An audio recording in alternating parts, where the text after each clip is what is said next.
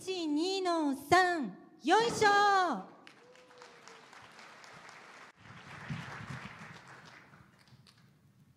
え連合の皆様には古賀会長をはじめ昨年1年間大変にお世話になりました。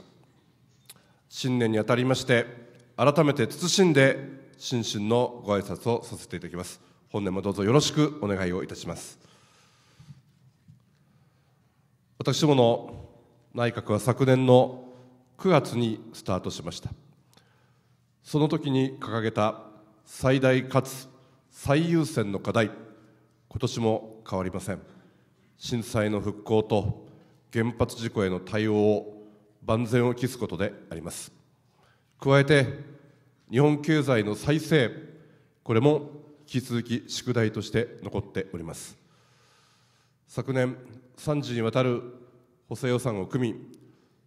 その都度円高デフレ対策切れ目なく講じてきたつもりでございますが今月中にほどなく通常国会が召集をされることになります。まずは2.5兆円規模の第4次補正予算そして新年度の予算早期成立を目指して万全を期してまいりたいと思います。加えて雇用情勢も依然として厳しい状況にございます。完全失業率が4.5%という現状であります。油断できない状況であります。通常国会においては懸案である派遣法の改正あるいは高年齢者法の改正有期雇用契約の見直しなども含む非正規雇用政策の拡充こういうものに特に力こぶを入れていかなければいけないと思います。ぜひ皆様の後押しを改めてお願いを申し上げたいというふうに思います。加えてまた残された課題がたくさんございます。公務員人件費の問題定数削減の問題郵政改革の問題そして明日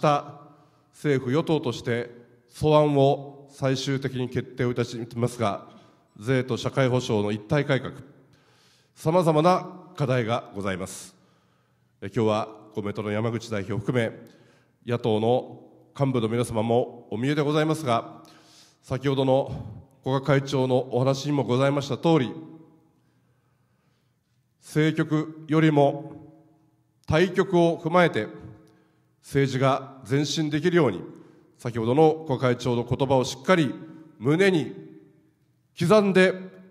国会運営に当たっていきたいというふうに思いますし野党の皆様のご意見にも真摯に耳を傾けて政治が前進できるように全力を尽くしていく決意でございます。私の持ち時間も5分以内と聞いております。約束を守らないと政治は嘘つきと言われます。守りたいと思います。最後に連合の皆様が掲げられている働くことを誇りとする安心社会あるいはディーセントワークこういう社会運動が2012年大きく広がりこの日本に定着することを心からご記念を申し上げ簡単でございますがお祝いの言葉に変えたいと思います。本日はおめでとうございます。